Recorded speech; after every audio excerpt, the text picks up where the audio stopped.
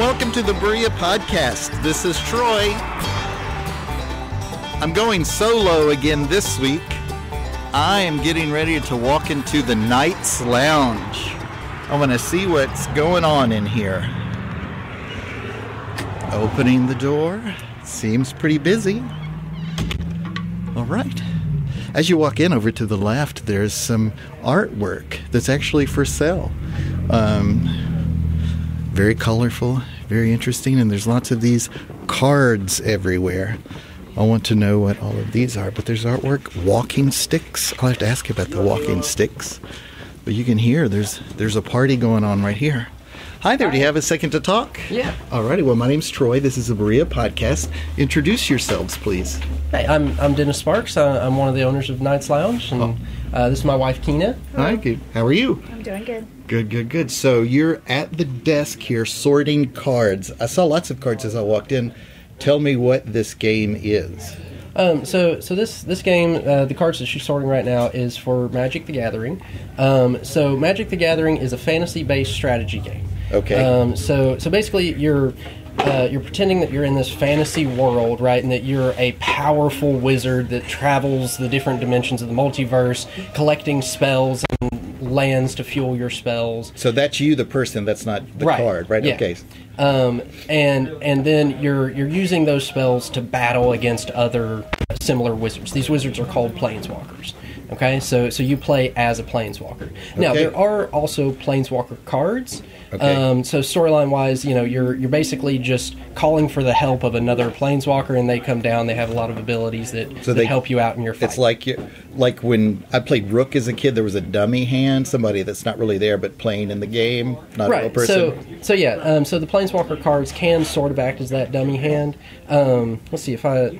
I don't have any in, any okay. real real handy to just show you the example, but it's it's a card that, that you would play, and then it has several abilities that you can choose from. You can use one of those abilities each. turn. Alrighty. You lost me at about the point where you talked about being a, a planeswalker. So how does it play? Like I sit down at a table and I have a deck of cards. Mm-hmm.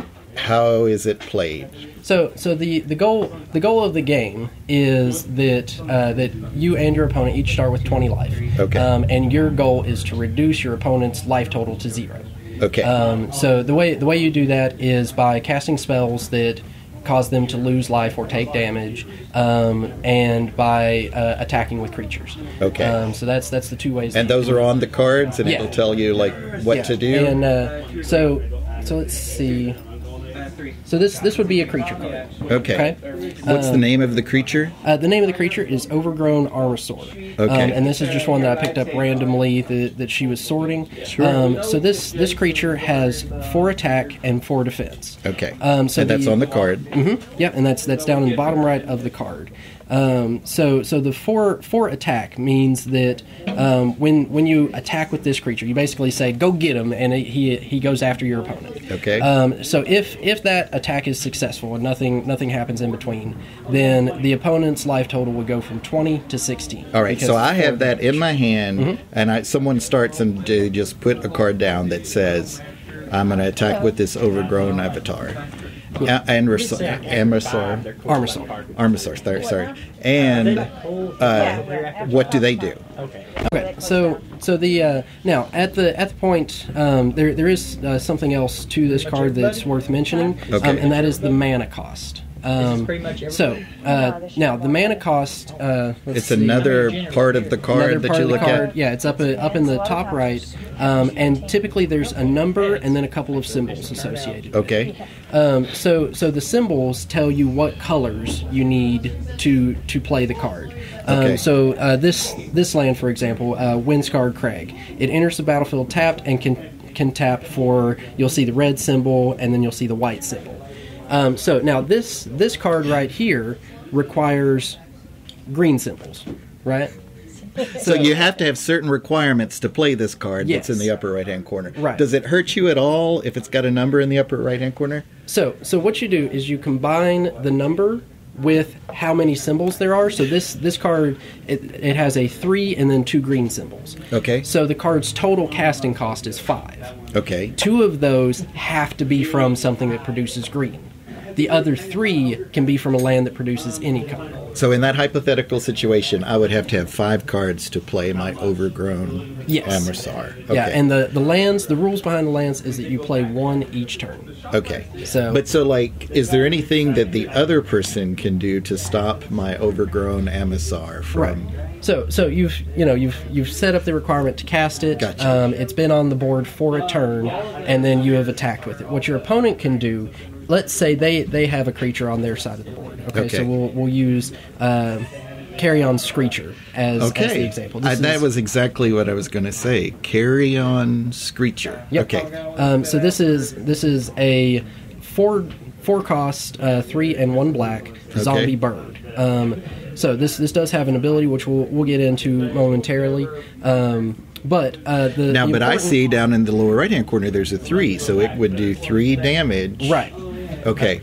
So so this uh, this this creature would would deal three damage, and it has a uh, toughness of one. And we'll get into toughness in just a moment. Um, so so I've attacked with with this overgrown Armasaur, which which has four power and four toughness. Okay. My my opponent has a creature with three power and one toughness on the board. Okay. So they they could say either this creature is valuable to me, and I don't don't want to you know throw it in front of this big trampling you know or you know This big dinosaur big large dinosaur, right? Right. Um, or my life total is important, and I'm going to use this to protect it. Now, if they make that decision, Okay. um, what they'll do is they'll they'll say that they are blocking with the Carrion Screecher. Okay.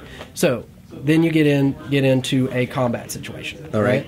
So so when this creature blocks this creature, that four damage that would have been going to the player instead goes goes to the screecher. Okay. Um, so even though now this this creature has one toughness, that's basically the creature's life points. Okay. The difference between your life points and a creature's toughness is that that will reset it at the end of each turn. All right, so let me pose the hypothetical. So Mm-hmm. they throw that four, throw that four down. The person throws the, the one card. It Yep. takes one away from their what affects the player, the planeswalker, right? Okay, gotcha. Yeah. So All right, and So- it just goes until there's zero from twenty down to zero, and there's a loser. Right. Okay. Now, oh, and uh, so so yeah, so this uh, this one toughness, right? See, all four of this damage, if this creature blocks, Right. um, all four of that damage will go go to this creature. So so the player doesn't take any. Okay, so it's not one minus four or four minus one. Nope, it's just it's just stopped. You got it. Yeah. Okay, now there great. there is uh, you know a lot of creatures will have different abilities. This one has flying. Flying is one of the simplest abilities to to explain, and Okay. that's that uh, if uh, if the creature opposing doesn't also have flying or otherwise say that it can block creatures with flying, then it can't block because it's just going to fly right over top of it. Okay. Um, So. So, uh, So in- there's lots of, like you said, this is a strategy game, and what you're explaining is a crazy level of strategy Yeah. to it. On the cards, uh, there's amazing drawings or- Yes. and art, artists, art, artwork. T- Do you know anything about like the artists? Um, yes, actually, actually, you do. And uh, one of the, one of the things that a lot of players like to do is, uh, you know, at the larger events, you know, like Grand Prix and Opens and things like that. Here at the store? Um, no, no, not not here at the store. Uh, these events would be so large that there wouldn't be room for the players in this store. Okay. Um, there, they there would be anywhere from 800 to 3,000 people. Okay. And where would they be held? Um, they're they're held in large convention centers uh, across the world. Um, The world? So the world, yes. Okay. Um, so this this game, uh, actually, some of the best players uh, for this game come from Japan. Okay. Um, so the the game was originated in uh, uh, Washington State. All right. Um, I believe it was Seattle. Um, and since then has has grown to a worldwide phenomenon. yes. Um, so has Starbucks. Yeah. They, they've got So- two claims to fame. So, um, have people from here gone to uh, what are they called? Wizard Prix? Grand, Grand Prix. Grand Prix. Okay. Yeah, and uh, actually, um, several several of us have. Really? Um, yeah. Us? So, So yeah. you've been? Where did Yeah, you go? I've, uh, I've been to. Uh, let's see. We the most recent one we did was uh, Grand Prix Atlanta. Um, Okay. I did not perform very well. Oh, no. In that one, um, but uh, Eric. Uh, over there in the leather jacket, Oh. he actually made day two of that competition. Okay. Um, so, so the way the way it works is that day Is that a big thing? Yes. Okay. Yeah, it takes a lot of skill uh, to make day two because you have to have Um, day one is nine rounds, right? Okay. And and regardless So of that's your performance, that's you nine times two planeswalkers Mm-hmm. set across the table and play their cards and win. Yeah. Well, um, How no. long does a game Now, take? And that that Grand Prix was, uh, I believe it was like a thousand two hundred people at that Wow, one. that's that's big. So um, so it's uh, so each each player gets to play all nine rounds of the first day. Okay. Right. So so you will have nine matches, nine different people that you play against. But how long does a round play take? Uh, typically about an hour. Okay. Um, so so there's there's a 15 minute time clock, right? So at the end of that time clock, if you still haven't finished, you have a certain number of turns to finish the game before before Awesome. it's just over. Um, and if it ends with neither playing win, neither player winning, then it's a draw. Okay. So but you want to win to go on to day two. Right. All right. Um, so in order to make day two, Okay. you have to have a record of seven and two or better. Um, so that means seven wins and two losses. That's- that's of- pretty good. Yeah. Um, so. So and then day two, I think was about six rounds, Okay. um, and I believe Eric uh, was able to, to go through all those rounds with only four losses. Great. So so Okay. he, he did he did pretty exceptional. He's just out outside of uh, being being in the range for getting cash prizes out of the event. Oh, nice. Yeah. Cool. And that's so that you go there for bragging rights and and, know, and the prizes. Yeah. Fun. Um, so that, sorry. Um, so that particular event, um, the winner of the event got five thousand dollars from playing this game. from playing this game. Okay. Yes. All right. So that's that sounds pretty awesome as a, a draw. You know, Mm-hmm. you could go to that. How much does it cost to like start? If somebody had never done this before and just walked in the door like I just did, how much does it cost. Well, to the, begin? the the cool thing is that uh, Wizards of the Coast, the, the company that, that prints the uh, the cards and creates the game, Okay. um, they actually send us uh, free We walked over to the back. Free sample decks. Um, so this this is a, an example of one. And any new player coming in, they, they get one of these just just to help them get started. Oh, really? Um, yeah, and it's it's completely free. We we don't have to pay anything for it, and the player doesn't have to pay anything for it. now, is there a s- is there a chance that there's a super awesome card in there? Um, no, the card the cards are preset um, to, to what cards you'll get. Now these these are great uh, great decks for learning the game. They have enough variety Okay. um, that that you'll you'll become familiar with with, with the different aspects of the game. But at, at the same time, they're not so complex that they would be. Uh, that, that, that you would not be able to play it within the first day. Um, there are decks that exist with that level of complexity, but typically you've been playing a while before you'll try to approach those decks. That makes sense. Now I see on the box of the deck it says age 13 plus. What are the age of the people that come in? Now, uh, the the age thirteen is a recommendation; it's not a strict requirement. Okay. Um, if if someone is below that age, they do they do have to have a uh, parental consent. Oh, um, to in, play in order to play. Great. Um, you know, now your space though is it? You have to be 13 to come through the door. No, absolutely not. Okay, Um, so, everybody shook their head at that. Tell me about the things that other, you know, under under 13 without a parental consent could do here. Um, so, uh, so one of the one of the games that is really the most popular for for our, our kids under the age of thirteen is Pokemon. Okay. Um, so it's another trading card game. Um, it's similar similar to Magic in that you're exploring a fantasy reality through a strategy card game. Gotcha.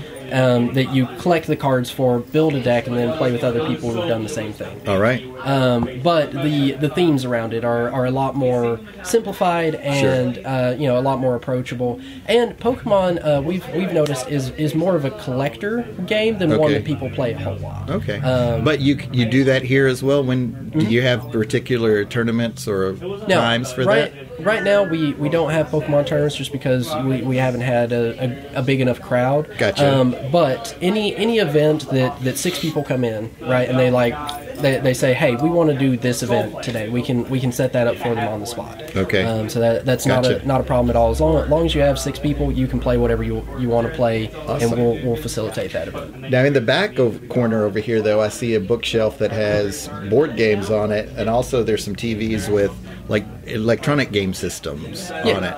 And so, so what those are? Those, those are all free to play. Um, Okay. So, so you know, we don't we don't sell the board games or the video games, but we, we have them here for for people that just just want to come in, play a game, and hang out. Okay. Um, so you know, me myself growing up, you know, I grew up without without a whole lot of money, right? Okay. But I still wanted a place where I could go and hang out with my friends, you know, and the fact that I didn't have money wasn't wasn't a factor. Um, so so we we've tried to facilitate that as well. You know, of course, we still have to pay the rent. Yeah. Right. So we, we sell the, the, the cards and the Well, and I see some snacks over there. Yeah, You know, and- who and would not want to play Mario and have some Cheetos? Right. Exactly. That's my Friday night right there. All right, but but yeah, so but we also wanted didn't want to alienate you know the people who didn't have ha, weren't in a financial situation to to be playing the games that you Sure. would, would otherwise buy. Um, so we wanted to give them something something to do to be able to hang out with their friends as well. That makes good sense. So if someone had no dollars at all and had never been in before, they could come up to the counter, say, "I'm interested in one of the free decks, please." Sit down, start playing Mm-hmm. with that, or go over to the TV and start playing PlayStation Two. I see some games, right? All yeah, right. and mo- most of our video games are, are more retro. Um, you know, we don't have like a PS4. And retro means uh, older. Um, Okay. So so So I am but cool. retro? Yes. Okay, yes. good. Great. You, you would fit the definition perfectly. That, that old but cool. So, excellent, excellent. All right, now you uh, we mentioned the artwork, and you said yes, but uh, oh yes. tell me about uh, that. Sorry, I got got we got a little sidetracked uh, talking exciting. about uh, Grand Prix and th- places where you might meet these artists. Okay, okay. Um, so so the uh, so the artists will will go to different events. You know, they'll set up. They'll kind of show off. You know, sometimes they'll have the original artwork that the image is taken from, um, and you can get them to sign sign cards and you know different uh, different places where their artwork appears. Um, mo- One of my personal favorite is RK Post. Um, he did. That's a person. Mm-hmm. Okay. Yep. And uh, Is he retro? uh, yeah, he is actually very retro. Okay. Um, so so he did he did the art for a card called Arbor Elf, um, Okay. and it's one, one of my favorite cards, and I love the artwork on it. And he's just a very very laid back artist. You know, he's very approachable, easy to talk to. Okay. Um, so that that is that is one of my favorite. Now on each of these cards, you can always know who did the art because there's usually a little uh, a little symbol that looks like the the tip of a paintbrush Okay. um, beside a name, and that name is the name of the artist that did the art that appears on the card. Okay. Um, so so the the artists are are really you know of course you have your your pro players right your celebrities of play your There are celebrities of play. celebrities as well. Okay. Um, so that you can you know Are there T-shirts that say "Celebrity of Play"? Um, and if well, not, you should so make that. There, there, there should be that, that should exist. I, I haven't seen it yet. There are T-shirts that do have the pictures of these Pro Tour players on. oh, awesome. Um, so I have seen those before. And uh, what you need, Eric? oh, you are Eric. You are Eric who went to Atlanta and survived to day two. Yeah, I did that. Well, tell me a joke, Eric. I don't have any. okay, sorry to interrupt you. No problem. Okay, let's see the transaction. Well, while the transaction happens, let me pop around for a second and see. I'm walking up to a random table. Do you guys know any jokes? I don't. No? Not off top of my head no. No, man. Okay. I've got one for you. What did one ocean say to the other ocean? What? Nothing. They just waved. Thank you. That's it. Now, what is that? It says Pirate Lab on it. What does that mean? Uh, it's just a bag for deck Well, boxes. what is your name? I'm Chris. Chris? Hey, Yeah. Chris. Yeah. Um, this is a bag for deck boxes. Like you can store your, you know, your decks in here, like for Magic the Gathering. Or, How many cards do you probably have there?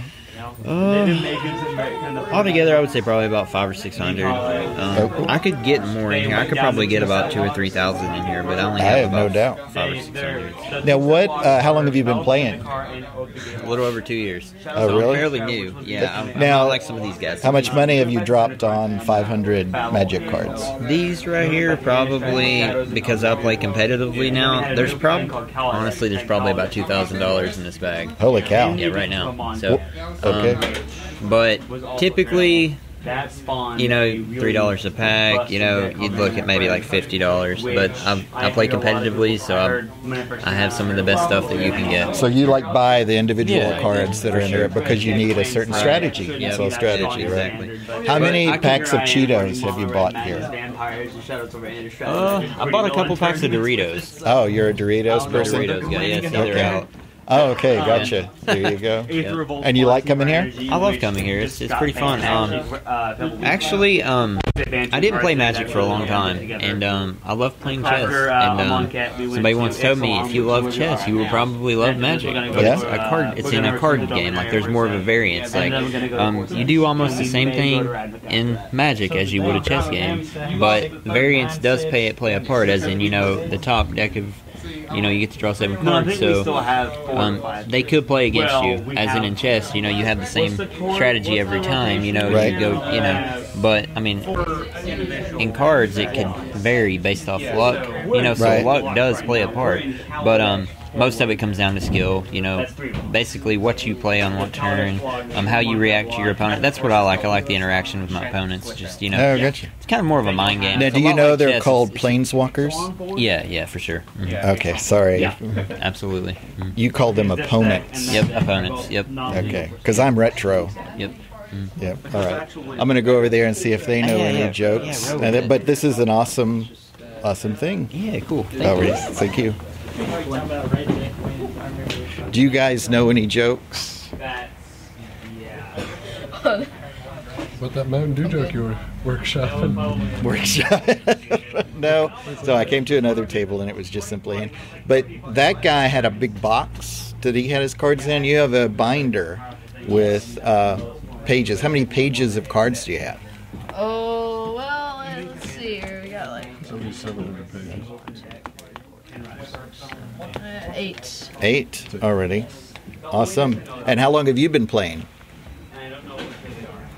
I'd say a year or two. Oh, yeah? Awesome. Alrighty. Well, good luck, guys. Thanks. Tell me what you like about coming here. Um, for me, uh, And what's your name? oh, I'm Sebastian Rose. Okay. Uh, for me, it, it's just the community being able to actually come up and find people who play the same game and enjoy it, and being able to like match them and you know get some practice in, because not all my friends you know actually care for the game, play it. So you know it's good to come up here and find people who do and Cool. share the same interests as you. And what's it like to sit at the same table as Eric, who's been to Atlanta and survived to day two? Sebastian Well, also- I actually went to Atlanta as well.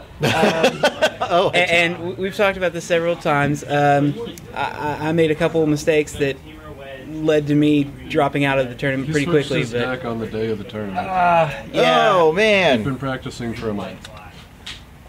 And he switched his deck Oh, on the day for, of the for tournament. months. I put hours of practice. And into so, like deck and everybody at the switched. table is smiling really big right now. That that that was a big faux pas, apparently. It was rough. It was rough. Yeah, it, did, it did not. was it was not good for me. I should have stuck with the deck that I was using. But Good lesson learned, huh? Uh, oh yeah, Okay. Alrighty. Well, let me walk back this way. I'm seeing Dover. Well, I have already stolen your ocean joke. Do you know anything else? No, No, that was your one joke. Yes. Uh, sorry, sorry. All right. Now, how many cards do you have in your have none yet, but I'm starting to build a deck soon. Oh, great, great, great. So you came here just to do homework? Uh, we're starting a D&D campaign. Oh, gotcha. And you cast it again. Good deal. 10, you copy So, it 10 times, not homework. Not homework. Okay, good deal. Alrighty, talk to you guys later. Let me walk back over here. So, uh, thank you so much. Thank you, thank you. Uh, anything else you want? What are your hours? You Um, know, so, from here. so the hours are uh, three in the afternoon to eleven in the, at evening. Um, Every day? Every day except for Wednesday. Okay. Yeah, we, we need to take a day to rest. Makes sense. So three to eleven, right? Mm-hmm. What about when are special events or things like that? When would you suggest a, a novice to come in? Um, so so typically the best the best day for someone just wanting to get into uh, the game of Magic, the best day to come in is Fridays um, because you've got you've got the most people. You've got uh, you know it's it's a good day to just kind of kind of get in and get get an idea of how how things are done. Gotcha. Um, and, and it's our, our most popular weekly event. Okay, so Friday. What time? Um, that that usually starts about six. Okay. Um, so so if you if you want to play in the event, you probably want to get here a little little earlier. So around right. five five five thirty. Okay, that makes good sense. One quick, as I walked in, there were some walking sticks up on the wall. What are those? Um, so those uh, now the, there's there's a second side to this. You know, it's it's uh, Knights Lounge games and gallery. Okay. Um, so so the gallery aspect, um, the walking sticks my uncle made. Okay. Um, and uh, they they are for sale. Well, what is his name? Um, uh, Boyd. Boyd. Okay. Yeah. So Um, Boyd's walking six. Yep, and uh, the paintings uh, are all done by my wife. And, Oh, and what is your name again? Keenan. Keen. Hello, how are you? I'm doing good. Okay, good.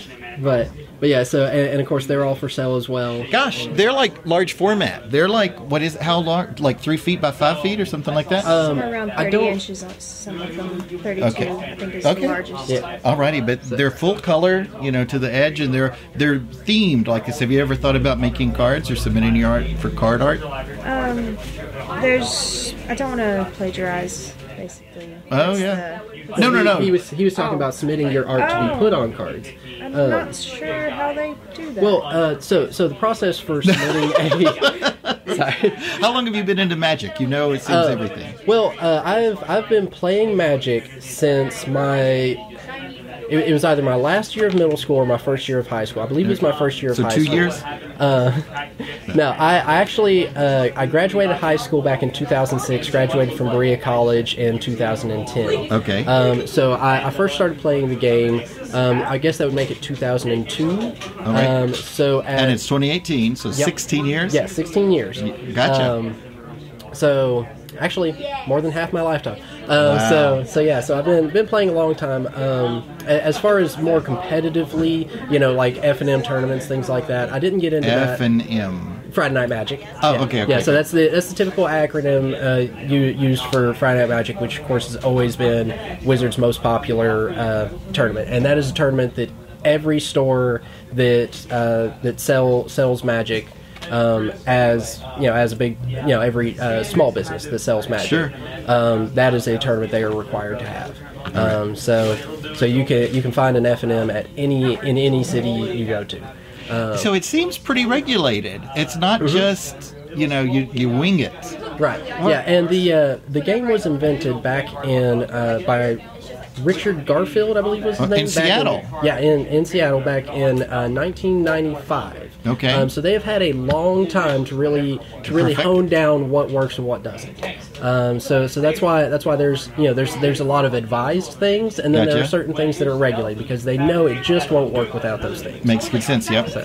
Alrighty. Now, if somebody wanted to call first or contact you, what would a telephone number be? Or Uh, the telephone number is 228-0101. Okay, 228-0101, area code 859. 859, yes. Is there an e- Oh, you've got a Facebook page. We do we do have a Facebook page. Um, you can find us as Knights Lounge. Um, Okay. We are the only Knights Lounge on on Facebook. In the whole so- world? Yeah. That's pretty awesome. Knights, K N I G H T, apostrophe S, lounge, L O Yep, U. like the chess piece. Oh, lounge? Uh, Knights. Knights, okay, okay. Yeah. Um, one question with that where did the name come from? Um, so, so the name was actually debated over for a long time. When, uh, uh, when, when we first opened, there, there were four of us. Uh, Now, now we're down to two owners, and that's just, just me and Kenna. Oh. And uh, so, but originally it was uh, me. So you're Kenna, the master plainsman, you won, planeswalker, sorry. Um, Your not- opponent. Not, not Sorry. Um, sure as far as far as the gameplay goes, I, I'm probably about seventh best in the store of the people I'm looking around and seeing right now. Um, so I'm not I'm not the best. I'm okay. Oh, okay, okay. Um, but, sorry, the story. but yeah, so so when we when we originally started, it was uh, Ira Redman, Anthony Estrue, um, and then my, myself, Dennis Sparks, and Kenna Sparks. Okay. Um, so so that that was actually when when I first brought the idea forward. Um, my my idea for the name was uh, Berea Games and Activities because I already had a Facebook page where we were getting together Okay. you know, to play different games under that name. Um, and you know, of course, that does not sound nearly as cool as what we wanted. So, um, so we got to thinking about it. We were like, okay, what you know, we need to theme it around something. Um, and what, what we settled on was that even though each of us played different games, you know, um, Anthony uh, played uh, mostly uh, like tabletop games like Warhammer 40k, um, D&D, things like that. And he also played uh, and and some Risk, yeah. Okay, and Um, Monopoly? You got that uh, battleship? Yep. Okay. And so so you know, but he also played some Magic. Um, Ira Redmond, his his game of focus was Yu-Gi-Oh, right, which we do do still carry today. All right. Um, and you know, then of course my my game was Magic, and then Kenna well, she was just really good with finance, so we had to have her. Um, There you go. so so you know, but the one thing, the one game that we all played and we're, we're all fairly proficient at It was Rook. uh, was actually chess. Oh, good. Okay. Um, and uh, me, me personally, uh, I cannot beat a player that is good at using their knight. Uh, I just can't do it. The, the the moves are too unpredictable, and it's you know it's strategically a very you know probably your most valuable piece on the board. Um, so so we all we all kind of agreed that that was the the piece to focus on in a game. Okay. Um, and so you know we were like, okay, now how you know so we know we want it to be about the knight, right? All right. Um, and then we were like, okay, which you know like now how do we want the atmosphere to be? And we were like, well, we want people to come, Oh. hang out, be laid back, you know. So that's where the lounge part. Okay, good. That makes that is super. And that such thought went into it. Yeah. That that's good. It's a it's a place of intention. You can tell that. I'm looking around, and several people have come in as I've been here. There's almost 20 people here, so that congratulations. Yeah, yeah, that's and that's that's pretty regular for Friday Night Magic, and you know, not not all these people are here to play Magic. Some of them are, uh, you know, we've got a D and D group, uh, Dungeons and Dragons. It's Sure. a, a tabletop role playing game. Gotcha. Um, you know, we've got some people that are just here to play play the video games, um, but the vast majority of the people here are, are here for for Magic. Okay. Um, so so that's you know we, we got a pretty pretty good diverse crowd. Do you believe in magic in a young girl's heart? Yes. Okay, good, good, good. All right. Thank you all so much for talking to me for a little bit, and I'm going to go ahead and go. Again, thanks for talking. right, I'll have you. sent people that way. And again, this is the Berea Podcast, so you can go over to thebereapodcast.com or like us on Facebook at Berea Podcast, okay? All right. Thank you so much. Thank you. Bye.